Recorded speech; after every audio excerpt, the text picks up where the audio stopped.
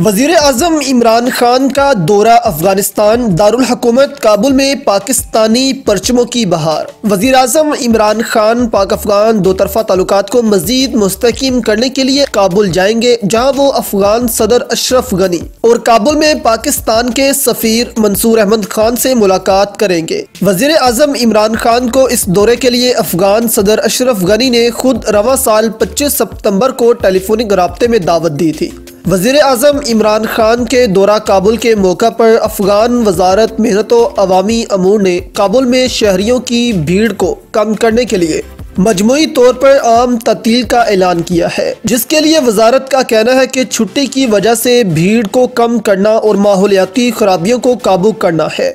वज़ीर अजम के दौरा काबुल के सिलसिले में अफगान हकूमत तैयारियों में मसरूफ है और अफगान दारुल हकूमत में पाकिस्तानी परचमों की बहार आ गई है और बेशतर इलाकों में सड़कों और सरकारी इमारतों पर अफगान परचम के साथ पाकिस्तानी परचम लहराए जा रहे हैं। अफगान हकूमत की इन तैयारियों को देखकर अफगान अपोजिशन का ख्याल है कि इनकी हकूमत को काबुल में परचम लहराने की बजाय वजी अजम इमरान खान से अफगान अमन से मुतलिक बात करनी चाहिए।